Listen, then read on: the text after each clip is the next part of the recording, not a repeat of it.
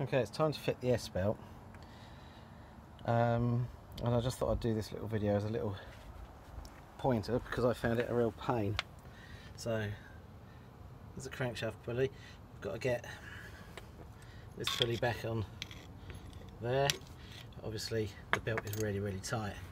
Now the tensioner is up here. And I've spent ages faffing around trying to work out how to move it. It's actually really, really simple when you know how. If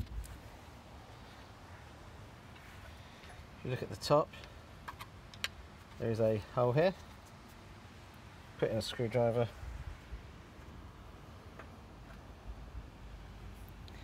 Pull, and it loosens.